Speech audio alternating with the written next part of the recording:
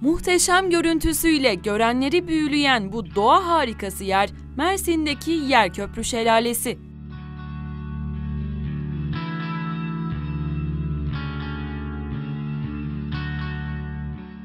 Güzelliğiyle görenleri büyüleyen şelale, zengin bitki örtüsü, masmavi suyu ve ağaçlarının arasından gelen kuş sesleriyle ziyaretçilerini bambaşka bir dünyaya götürüyor.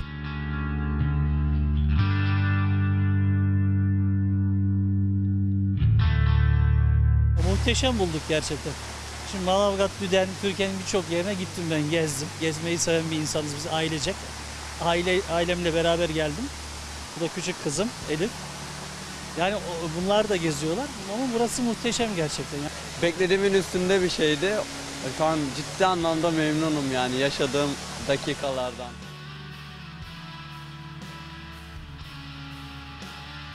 Etkileyici görüntüsüyle yerli ve yabancı turistlerin yanı sıra fotoğraf tutkunlarının ve trekking sporcularının da ilgisini çekiyor Yerköprü.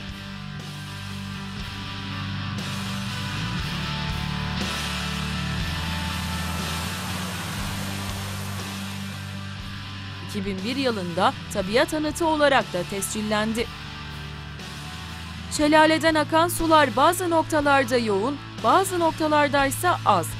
Bu durum şelalenin görüntüsüne farklı bir hava katıyor.